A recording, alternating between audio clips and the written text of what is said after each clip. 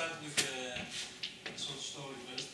Uh, when I was browsing uh, years ago the, website of uh, Professor Petrou, Maria, uh, I came to this link for instructions of ironing, which is, uh, you know, if you go to scientists' uh, web pages, it's kind of peculiar to find uh, things like that.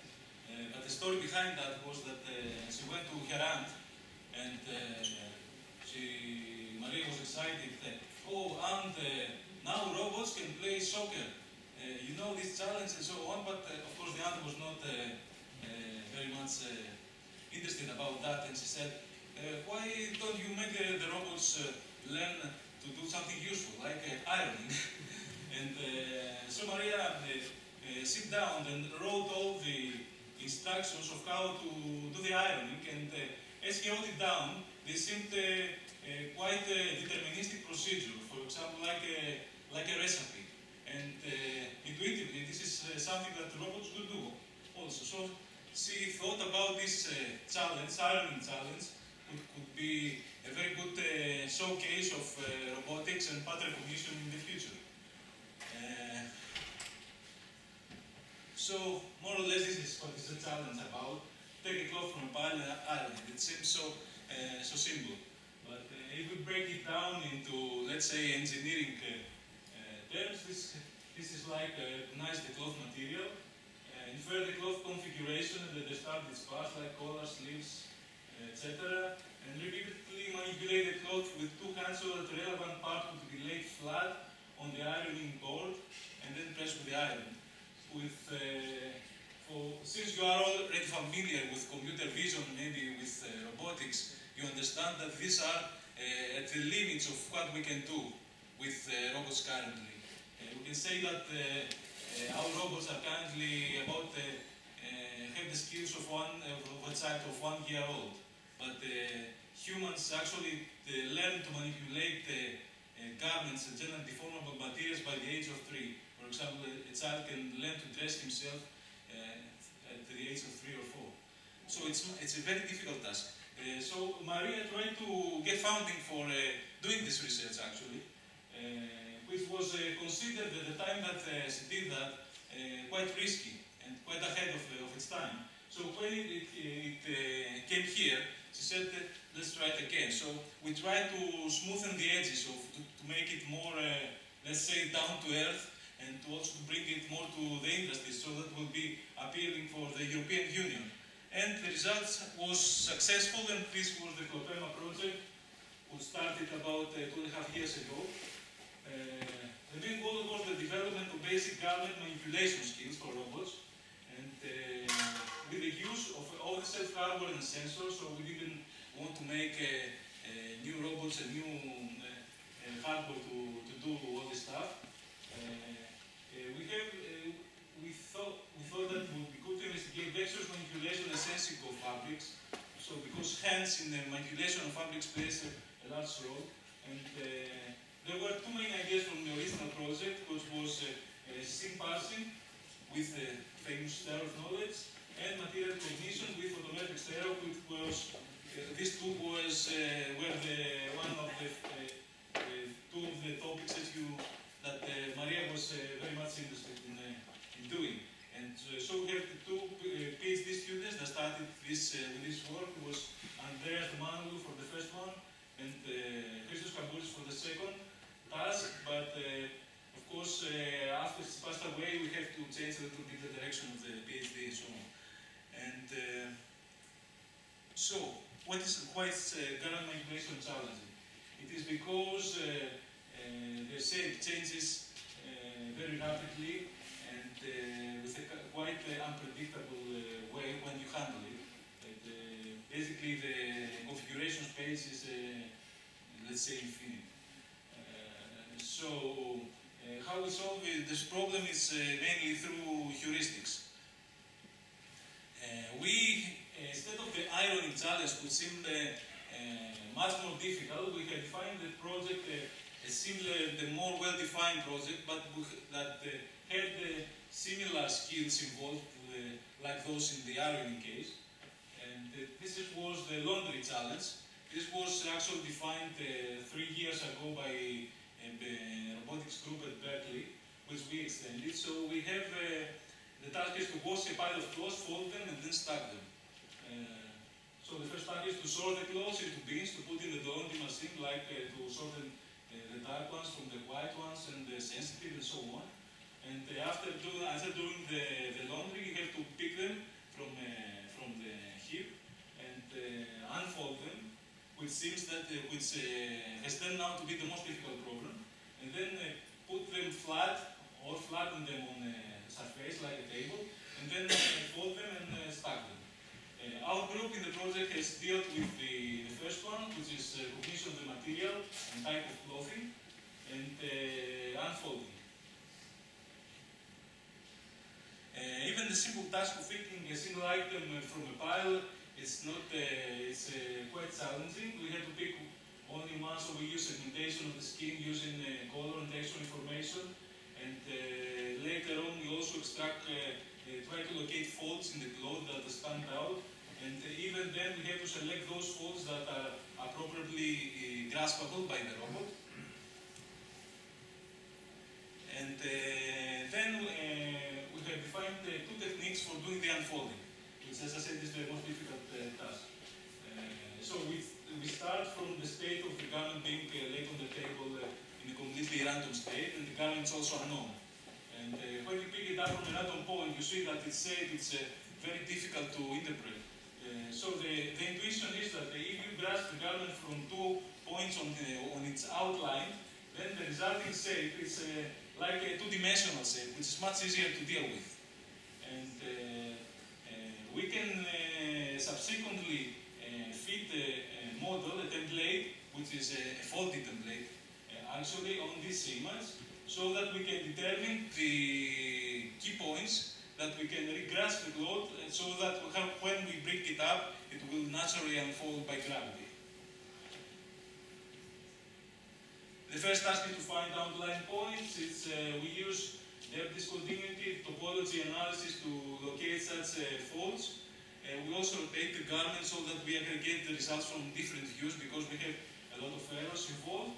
And we also run candidates using uh, elaborate graspability criteria because we don't only want to locate the outline but also locate those candidate points that are truly graspable by the robot and, not, uh, and the robot would not grasp at many layers of cloth and so on.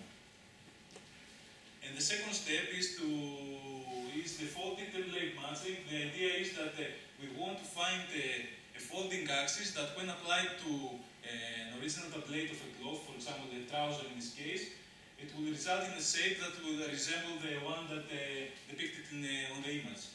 And uh, briefly, I don't go in details, but uh, what we do is to do is perform partial matching on the original uh, polygonal shape to gain hypothesis about the, uh, the axis, which we then apply on the template to create a visually folded template, which we then compare with the image using uh, IDSC matching and uh, using it uh, iteratively, uh, minimizing this cost, we obtain the, the location of the folding axis. And since we do not know in advance the, what the kind of garment it is, we have several templates, so we try them uh, all and uh, we choose the one that has uh, the lowest fitting error.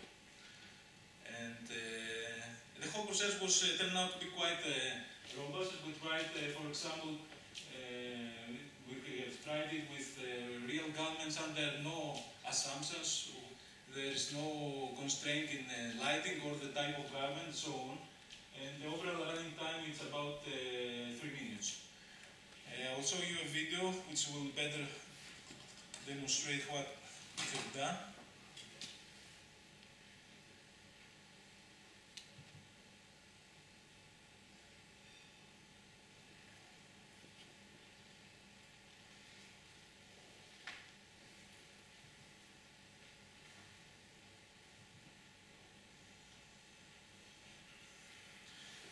So this is our monster robot, which is uh, actually two industrial arms. They are uh, robots that are used in uh, welding in the industry.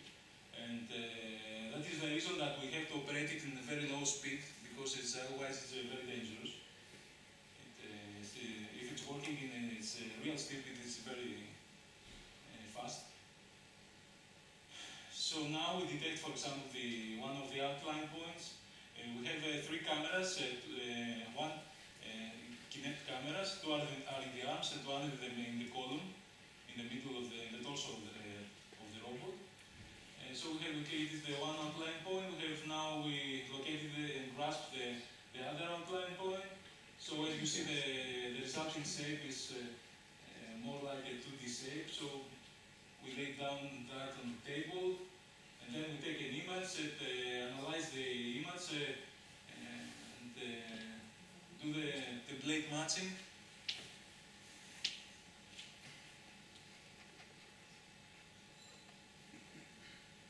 This is the safest seen by your camera, and uh, the folded uh, template polygon that uh, was estimated. And finally, based on this uh, fitting, we can uh, locate the two grasping points that uh, we, uh, we lift it up and we have the unfolded uh, garment. And this is an example for other type of uh, uh, garments. At the moment, we cannot uh, uh, we cannot deal, for example, with trousers and long sleeve. Uh, we have because this uh, break our assumption. Uh, they lead to many faults, and this we uh, we will deal in the future using uh, uh, kind of flattening uh, step on, on the table.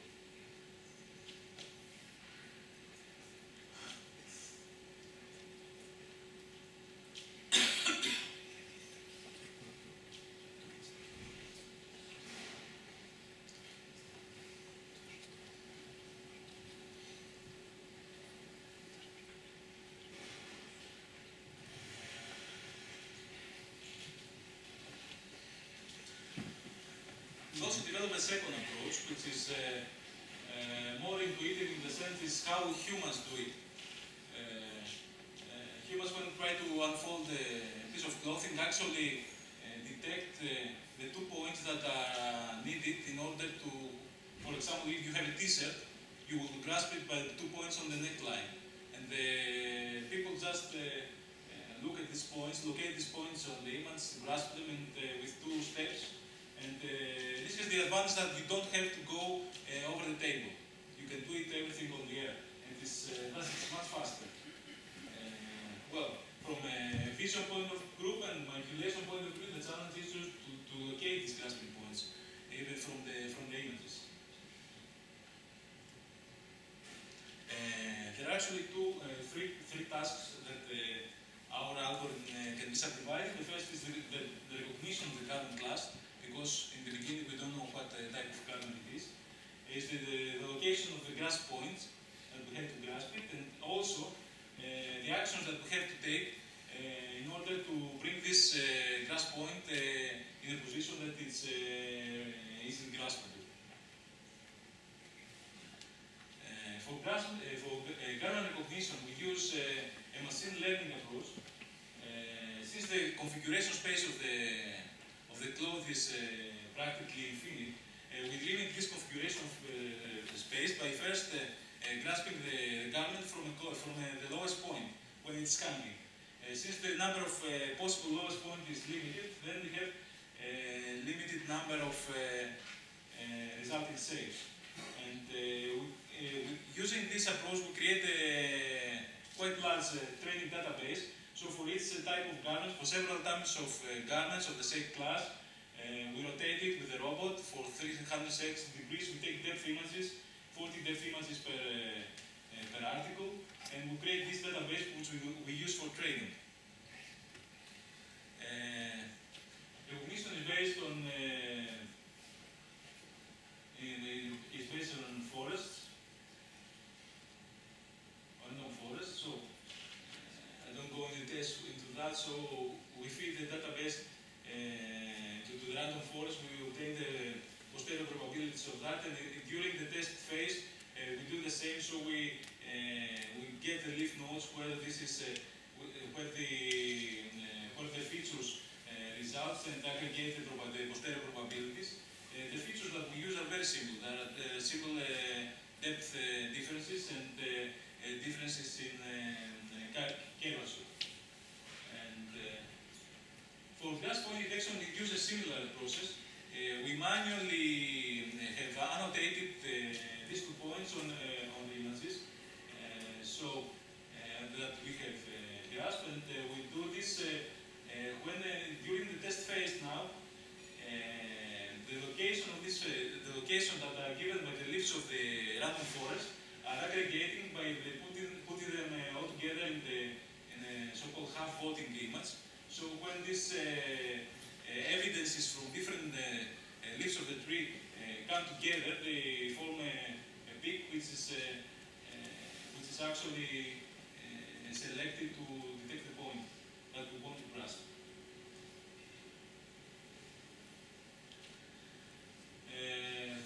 from using a simple view, sometimes is, we can have quite successful uh, cloth recognition, garment recognition, but also grasp point detection. But this is not always the case, because uh, many times the points that we have to grasp is uh, hidden behind, for example. Eh, so what we can do is to exploit the fact that we can rotate the cloth. We have an active vision system. We can rotate the cloth and look from behind to find what is missing. And so our approach is to keep looking sequential views until we reach a certain degree of confidence. And we do this using an optimal solution using uh, partial observable Markov decision processes to determine the best action, which is the, in this case is the amount of rotation that we have to, uh, to apply to, uh, to locate the grasping point with a sufficient degree of confidence. Uh, the results uh, were quite good and uh, the running time was also very small uh, we significantly outperformed the system by Berkeley, which was uh, in the order of uh, several minutes. And I also have a video.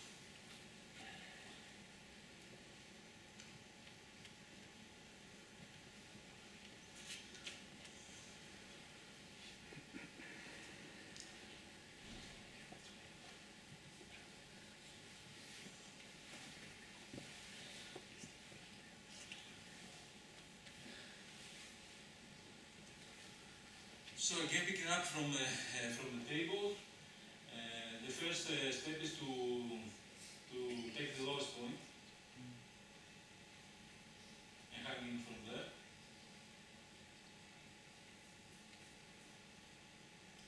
Then we rotate until we find the another grasping point. In the in the meanwhile, we have already identified what type of garment it is. So we have identified in this case the first grasping point, and we repeat the, the step until we find the second grasping point. On the upper left, you can see the Hough image and how uh, the votes accumulate as we rotate the, uh, the cloth, and this is the result.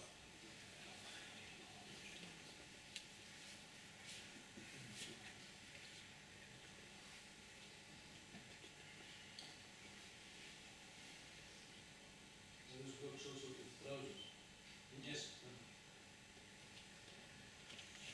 This, the limitation of this approach is that uh, is the, the training is uh, cumbersome. You have to uh, takes a lot, a lot of time. Also annotation. Uh, with the other approach, it's more it's it's easier to uh, to extend by using uh, more templates, let's say. But sometimes the assumptions fail.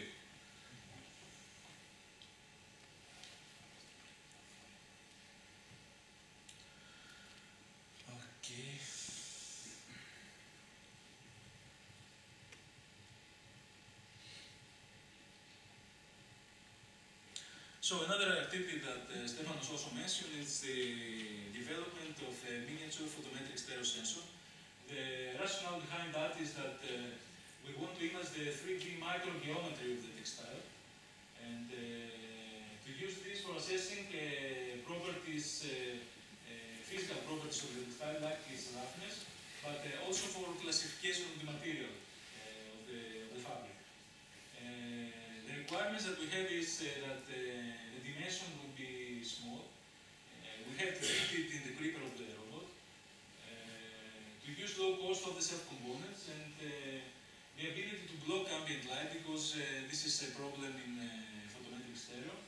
and also the, the fact that we have to go very close and more or less touch the, the surface, which also breaks some assumptions of photometric stereo. Uh, after several prototypes, we have uh, finally come uh, to the final solution, which is this small box of about 3 centimeters.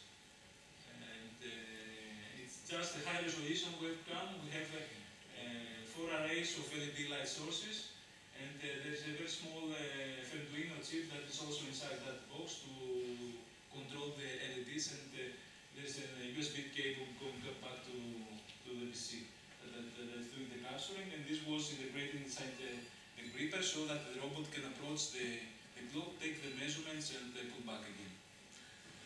Uh, these are some of the examples of reconstructions for typical uh, clothes. As you see, we can uh, see the, the yarn of the, uh, of, the, of the fabric.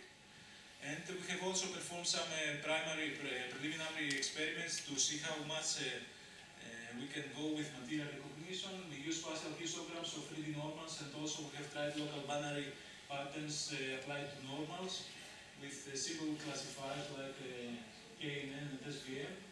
Uh, what we have obtained is uh, not very, uh, let's say, promising results, about 70%, uh, well, it was on a small database.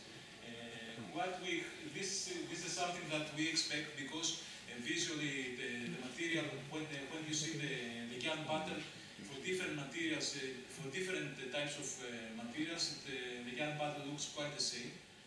And uh, so we, the, the approach that we have is that we try to discriminate between them using multimodal recognition. Uh, on our gripper, we place also tactile sensors that we can take tactile measurements by rubbing the, uh, the garment, uh, by, but uh, also by um, uh, visual measurements like analyzing the drape patterns, which is characteristic for some types of material, uh, the softer ones and the harder ones and so on. And we also work now with high-level features like weave pattern, roughness, yarn density, and so on. Uh, so coming to the end of my talk, uh, and from my experience from uh, these last two and a half years, how far we can go towards an hour robot. Uh, first, we can see that uh, hand dexterity is uh, quite a big issue in that. Uh, humans can manipulate garments with the, their eyes closed, so they use the, they do it only by touch and by using their fingers. We try to implement now the simple task of tracing a scene. This is how humans do it to find, for example, a corner and do the unfolding. And, uh, but tasks like uh, buttoning a shirt are much more difficult and uh, don't see them in the next 10 years.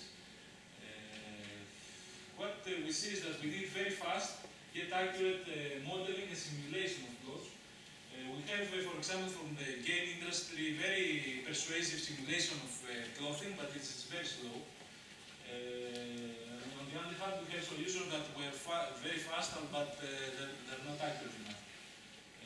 So for tasks like laying the garment on the board, we need some kind of real-time simulation to assess how this will collide with the surface and, and to test the physics and so on. Vision concerning deformable objects is currently at its beginning, so it's something that will take many years to to come something that is truly robust, it's, uh, as was done, for example, for rigid objects. And what we have seen is that vision in this case is not enough. Most of the surface of the garment is occluded, so we have to look around, and uh, this brings active vision into the game. And uh, last, I would like to thank uh, Maria, of course, which, uh, uh, give, gave us all this great opportunity to, uh, to work on such uh, exciting topic and also establish uh, a laboratory which was missing from the, from the institute with robotics and we hope that we prove to have memory. And we, in the end, we build the iron robot.